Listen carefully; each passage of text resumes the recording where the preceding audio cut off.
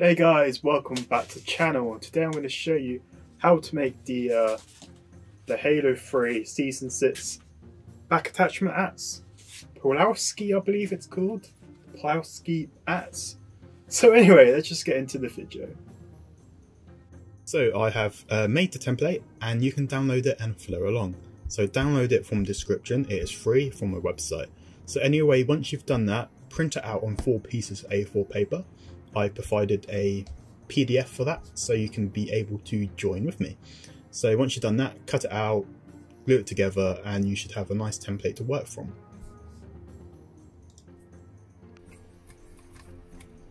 We're going to cut through these two lines as precise as you can and then we are going to move on to placing the template onto the foam.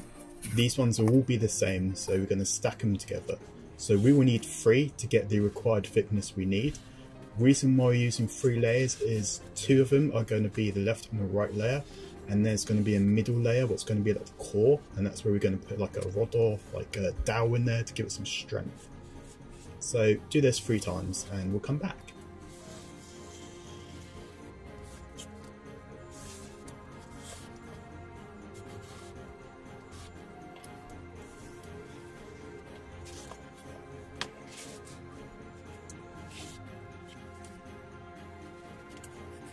So as you can see, we've done it three times and now we're going to move on to the axe head.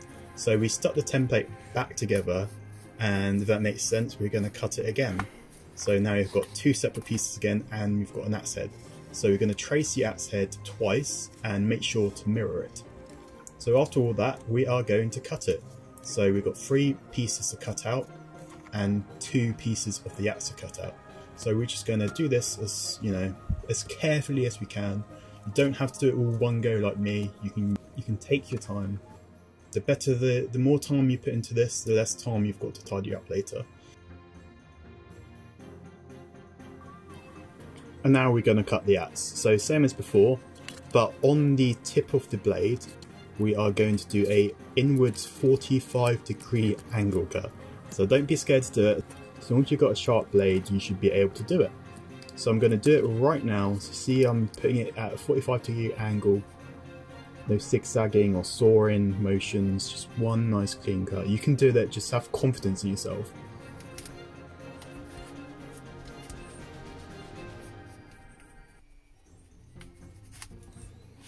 So you want to get your rod or your dowel or your PVC pipe or wire and you want to cut room for it in the middle. So use the ugliest piece you can find out all the three ones you cut and use that one as the middle one.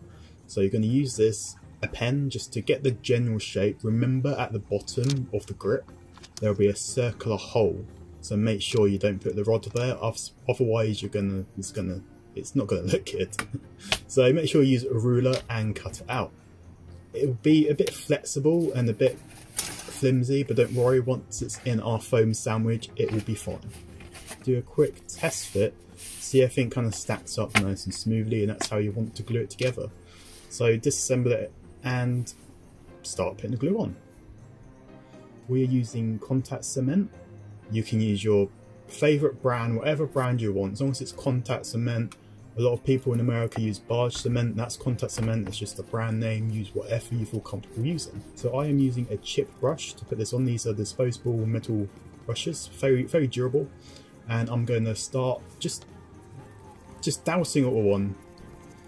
And we are going to wait five minutes between the layers to dry, and then we're going to stick it together. So I will be using a sheet of brown paper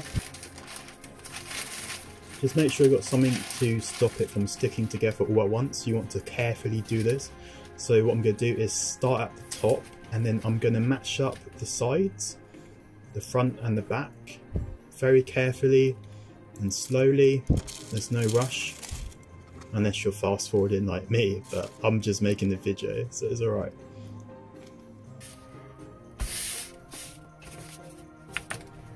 So once you've done that, make sure you put some on your wooden dowel or your rod or whatever you're using for this. And put it in nice and snug. You don't want it to be flailing about inside, you want it stuck. So once you do that, we will do exactly the same on the other side. Just take it nice and slow and make sure you wait a good amount of time for the contact glue to dry before sticking it all back together. So there we go, we have it all there. Look, it's nice and flexible and strong. Moving on back to our template and we are going to trim the top bit off and we are going to trim the two circles, the one by my finger and the one at the back of the grip. We're also going to cut the circular bit in the middle out too. And then we're going to use our pen and we are going to draw around the template just so we can line up where the details are later. I then cut out the hole at the bottom. 100% I did it by hand with a knife. I did not use any sort of power tool to get that perfect circle. I'm just being lazy. Just allow me to have this one guys please. but on this one I'll be I'll use my knife, don't worry. So we're going to do a 45 degree cut and we're going to do it all the way around. Take it nice and slow and let the blade do it, do all the work for you. We're just going to slowly glide it around the corner. It's going, it's going to resist a little bit. Just be careful for your fingers and then the blade will just simply follow through. Nice and easy and careful.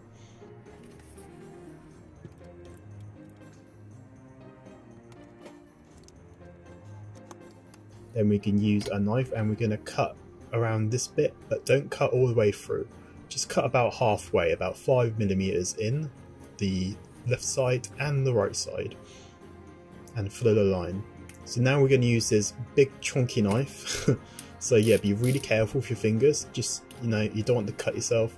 So just use your fingers, just, just to guide it in and then move your fingers away and let the blade just do its thing and guide itself into the foam. You want to cut away about 5 millimeters, so that's about half the thickness of the slab of foam. And you want to do this on both sides. This is very like dangerous, so take it nice and easy. And if you don't feel comfortable doing this, you can just Dremel it all out. It'll take a little bit longer, but at least you know it's just a little bit safer. But I've been doing this for years, so I'm pretty confident in doing that. So after that, you get it's kind of a bit rough, but it's fine because we're just going to Dremel it down anyway. So we're going to move on to a Dremel. So grab your Dremel and put a drum sanding bit on and just slightly go over around the whole entire edge and make sure the three layers we glue together are uniform around the edge. We are then going to just let the Dremel do its work. It's, you know, it, it wants to go that direction, let go that direction. Just make sure you've got control. And we're going to slowly trim the edges. Just give it a nice bevel all the way around. Take your time in this and make sure you wear your respirator and goggles because you don't want foam dust in your eyes and you certainly don't want to breathe foam in. It's very toxic. It can cause all sort of health conditions. So I urge you, please wear a respirator as you can see, my hand is covered in foam dust, and that's what your lungs will look like if you don't wear a mask. So please wear a mask. So I'm going a little bit harder on the edges now, doing a nice 45 degree angle, bevel all the way around. So this will give it a nice rounded edge. And we're also going to clear up the grip bit a little bit where the uh, fingers go. And we're also going to bevel around the top of the axe to give it a nice separation where we put the axe head. So make sure it's uniform all the way around. We're now doing the grip bits. So that's why I said don't worry about it being a perfect cut because we're going to go all the way over with the Dremel.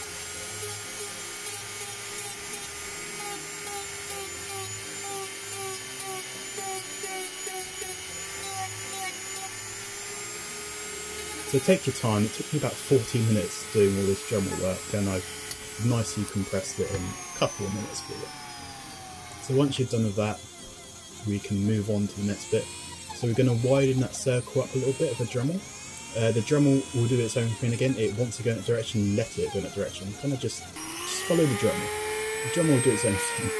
And then we're going to get a stone bit and we're going to go through this little middle section just to tidy up a little bit. Then I'm going to hit it with a hot air gun all around the prop and in the centre bit. I'm going to put my finger here just to shape it because I've lost the roundedness of it. So you get it really hot and then push your finger into it. You can you can reform the foam into any shape you want. Just be careful not to burn yourself.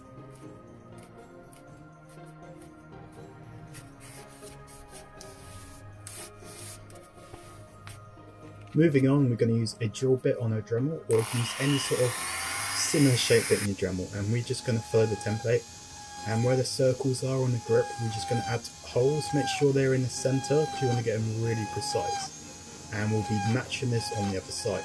Reason why we're drilling holes is to guide the ball Dremel bit we're going to use in the second so bear with me and I'll explain as we go.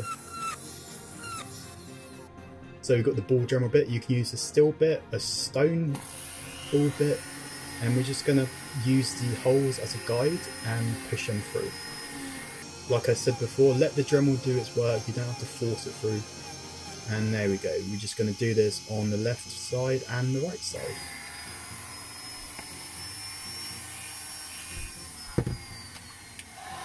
And we're going to use the heat gun just to open them up a little bit and seal in all the details.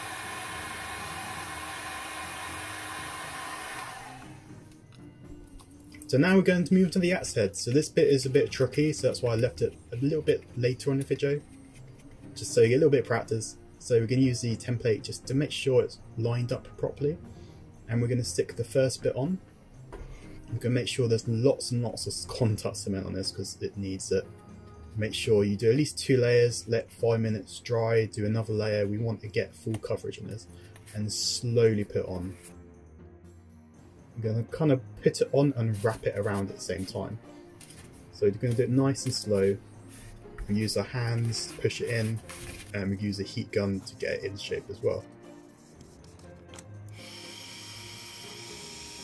So get it nice and hot and it'll stick a little bit. Don't worry about fingerprint marks, you can use heat gun and it disappears again. so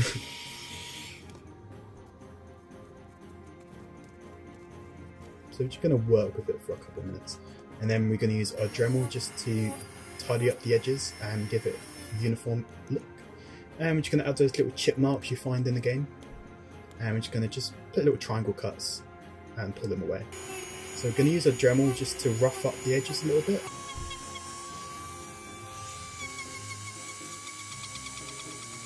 I'm not going to go too crazy here.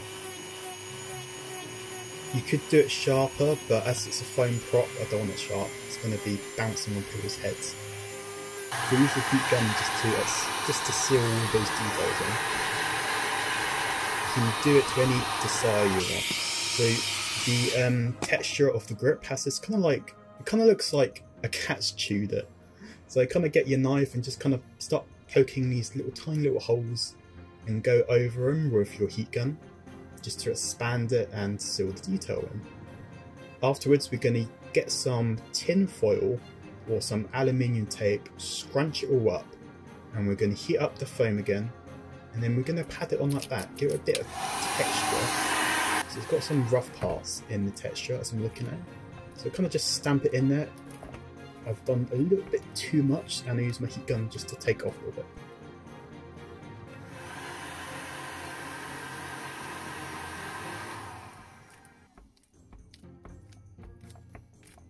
As you can see, it's achieved a nice like rubbery effect on the whole prop. I've changed the texture up towards the top a bit, just just make sure the little nick, the little cat bites on your prop is just on the black bottom half. So now we're going to use a Dremel and get the last little bit of details in. So using the drum bit and we're just going to go hard onto the circle, just push it in and it should leave this shape.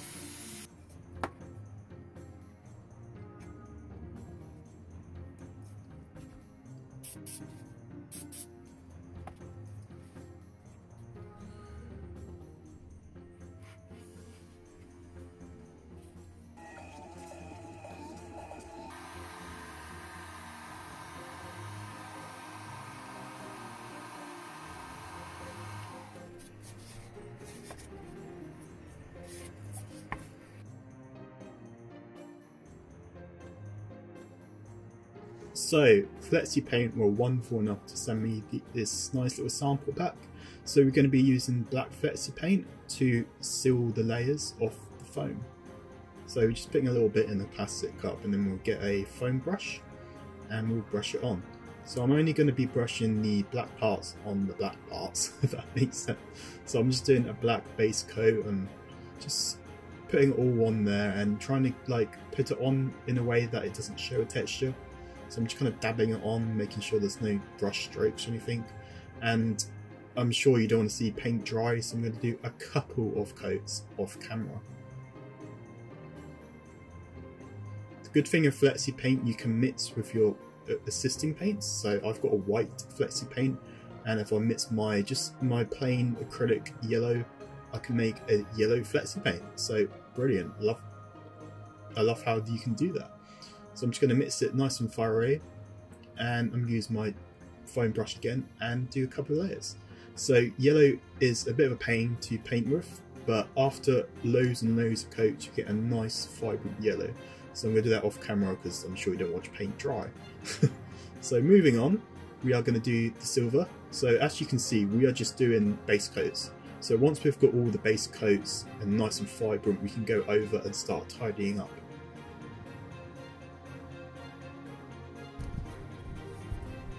So once all the base coats are done, I did about five coats in total. So I'm just going to get the red, what I made with white flexi paint and just plain red acrylic. And I'm just going to dab it on the edge because I want to get that pattern from the in-game where it's slightly worn off. So I'm just using the sponge to the edges and then I'm going to fill the rest with a paintbrush.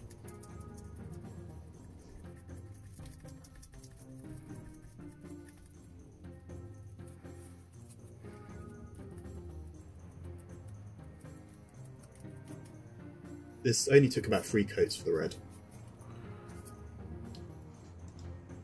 So we are going to do some weathering. So I've got watered down flexi paint and I'm just going to get my chip brush and just dab it all around the prop.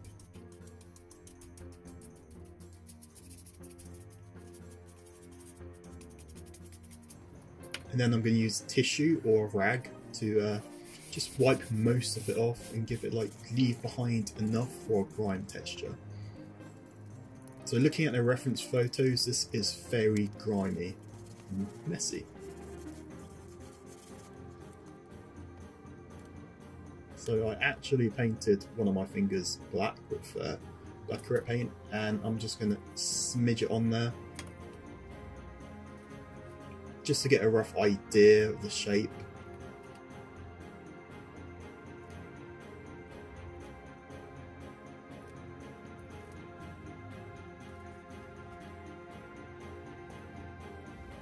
I'm just going to take it off a little bit, blend it in.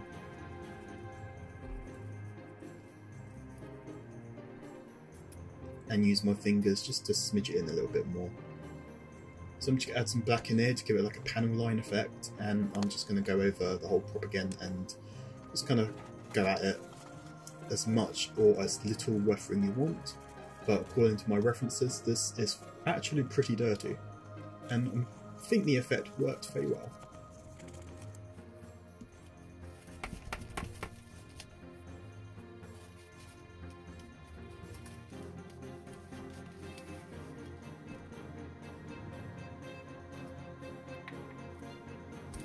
So I'm just going to use my black paint and just just go over the details and just paint this bit black and there should be a bit on the top of the axe head what you can paint black as well.